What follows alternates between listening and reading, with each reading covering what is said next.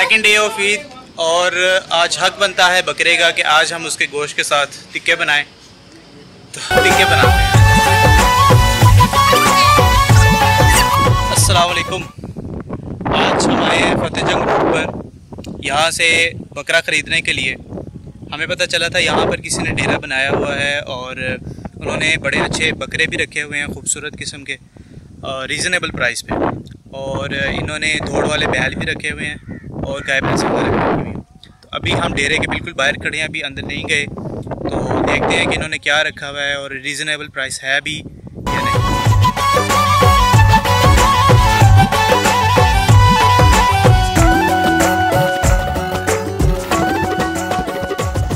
हमारे इस डेरे पे जाने से पहले ही यहाँ पर काफ़ी सारे जानवर बिक चुके थे। सिर्फ़ ये दो वेड़े और एक बकरा रह गया था जो कि हमने जाकर ख़रीद लिया। बाकी सारे कुर्बानी के लायक नहीं थे, काफ़ी छोटे थे तीन तीन, चार चार महीने के, पाँच छः महीने के।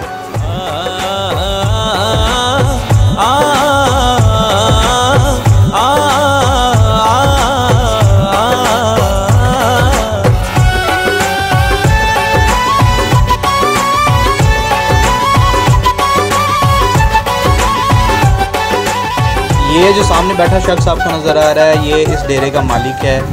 और इन्होंने हमें सख्ती से मना किया था कि जी आप मेरी वीडियो बेशक ले लें लेकिन बोलते हुए मुझे नहीं दिखाना आपने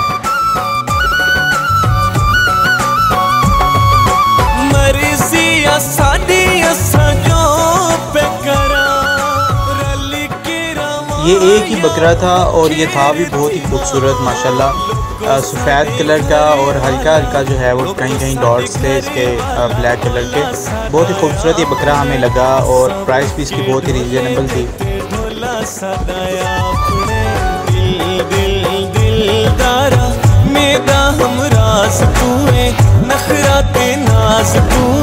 दिल दिया ते अंदाज तू।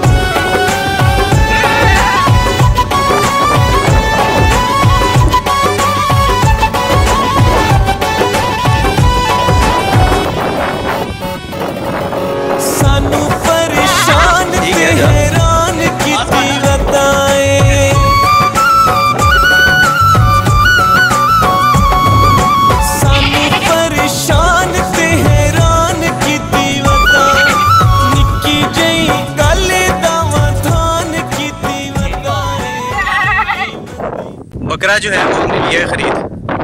और ये कोई हमें पड़ा है तकरीबन पच्चीस हज़ार का। काफ़ी बहस करने के बाद जो है वो बकरा जो है वो हमने ख़रीद लिया। माशा बड़ा प्यारा और ख़ूबसूरत जानवर जो है वो मिल गया। हमें तो अगर आपको जो है चाहिए तो आप यहाँ पर आ सकते हैं फतेह जंग रोड कुतबाल इस गाँव का नाम है। वहाँ पर ये डेरा लेकिन इस वक्त, इस साल आप इनसे कुछ नहीं ख़रीद सकते, क्योंकि इनके पास जानवर अभी ख़त्म हो गए हैं। लेकिन अगले साल जो हैं वो आप इनके पास जानवर जो हैं वो काफ़ी सारे होते हैं। अभी सारे लोग ले जा चुके हैं बिक चुके हैं sir. Second day of Eid और आज हक बनता है बकरे का कि आज हम उसके गोश्त के साथ टिक्के बनाएँ। तो टिक्के बनाते हैं।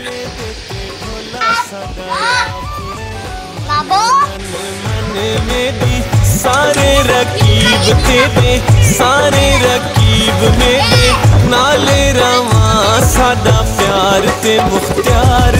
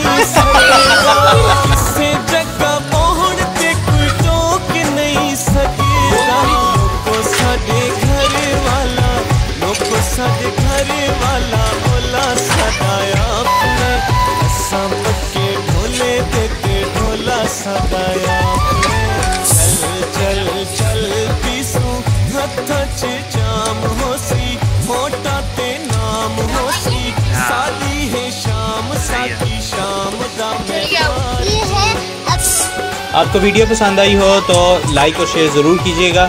और अगर आप हमारे चैनल पर नए हैं तो सब्सक्राइब के बटन पर क्लिक करें और बेल आइकन को भी दबाएँ ताकि आने वाली मज़ीद इंटरेस्टिंग वीडियोस की नोटिफिकेशन आपको मिलती रहे।